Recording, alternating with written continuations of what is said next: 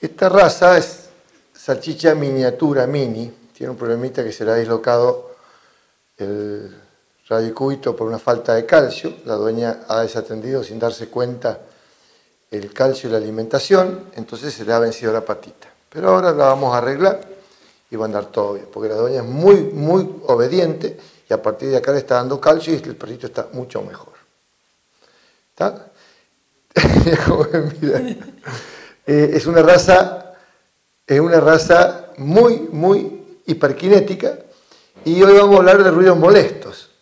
Y esta es una raza que, que ladran y ladran y ladran y cuando ladran, ladramos mucho y nos portamos bastante para miércoles, ¿no? Acá el problema del ruido molesto, el ruido molesto no es tanto el problema con los dueños de la casa, sino con los vecinos. Es un tema largo, es un tema áspero y un tema molesto, pero hay una cosa clara. El vecino, cuando un perro ladra mucho y molesta mucho, el vecino eh, te dice, eh, vecina, ¿cómo le va? ¿Por qué? ¿Qué le pasa a su perro que ladra mucho? Por favor, lo puede calmar. La segunda vez te lo dice más o menos, tercera vez te putea y después se produce el silencio del vecino. Cuando se produce el silencio del vecino y el perro sigue ladrando, sigue molestando, en generalmente, ¿qué hace el vecino? Te envenena al perro. Algo le tira y después viene el perro con vómito diarrea, con orina con sangre, vómito con sangre el perro te lo envenenaron. Entonces, cuidado. Cuidado cuando el vecino se queja una o dos veces y se produce el silencio del vecino si el perro está eh, envenenado o no. Nosotros tenemos muchos perros acá y una de las preguntas que hacemos cuando el perro orina o vomita con sangre es si ladra mucho y si es muy molesto. Porque a veces, generalmente son los ladridos, pero otras veces son los eh, que el perro va y le orina el jardincito y el malbón a la vecina. Entonces esa vecina te pone el venenito ahí, viene el perro y después el perro se muere. El, vecino es un hijo de... Es verdad, es verdad. Y el que a hierro mata, hierro muere. Yo a, la gente que envenena a un perro, yo digo, Dios de alguna forma la energía superior te va a castigar, te la va a pasar. Pero por mientras sufrimos nosotros y muchas veces no podemos salvar al perro que viene envenenado. Entonces, cuidado con los ruidos molestos.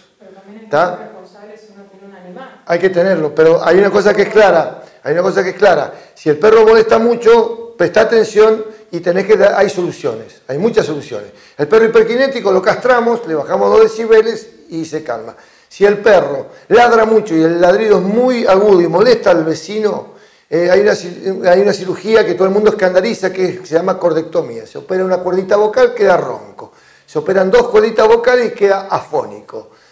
Y todo, oh, pero eh, flaca, no es, no es, no es, yo, nosotros no practicamos abortos practicamos, solucionamos el problema inmediato. Pues si ese perro que hace, el, dueño lo abandona. La mitad de los perros abandonados en la calle de raza son perros ladradores o agresivos. Encuentran un cocker, otra vez encontraron un cocker precioso, divino, hasta recién salido de la peluquería, abandonado. Ponían carteles y yo le decía, ni lo busqué, ni le pongas carteles, este perro fue abandonado. Fue abandonado porque mordía, tenía mal carácter y mordía a alguien de la casa. Y así. Entonces, cualquier problema que tengamos que moleste al vecino, consulte con su veterinario de confianza, que va a saber qué hacer y cómo hacer. Este es un tema que viene y cada vez viene más y más eh, específico, porque estamos en una situación de que el respeto al vecino es cada día más, más importante. Entonces, háganme caso.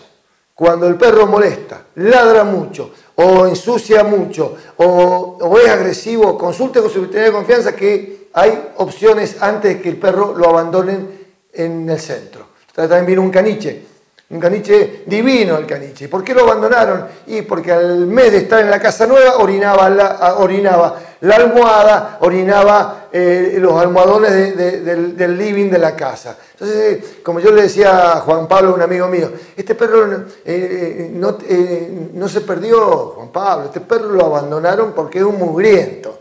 Y para, hay que educarlo. Hay varias formas de educar a un perro que te orina la almohada o te orina. hay formas de educarlo. Hay adiestradores que saben de eso y cómo hacerlo. Pero antes, antes de abandonar un perro, consulten con su veterinario de confianza.